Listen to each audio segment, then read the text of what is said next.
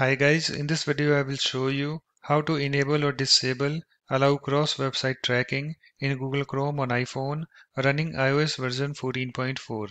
So this is my iPhone device. So let's start. So first of all you have to open your settings app. So here is my settings app. Let me tap on this to open it you can see guys it's opened and also let me show you guys first that I have iOS version 14.4 installed on this iPhone device.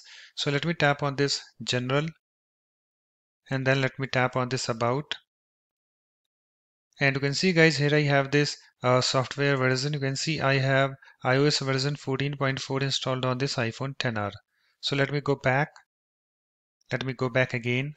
So in order to enable or disable allow cross website tracking in Google Chrome on iPhone, you have to open your settings app and after that you have to scroll down to Chrome. So let me go to that. So here I have this Chrome. So you have to tap on this to open it. So let me tap on this. You can see I have this Chrome, uh, this screen opened and on this screen you have to come to this option allow cross website tracking.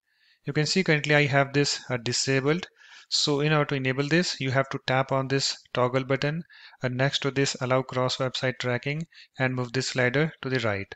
So let me tap on this and you can see it's now enabled. And whenever you want to disable this, you have to tap on this toggle, this button next to this allow cross website tracking and move this slider to the left. So let me tap on this because I want to show you.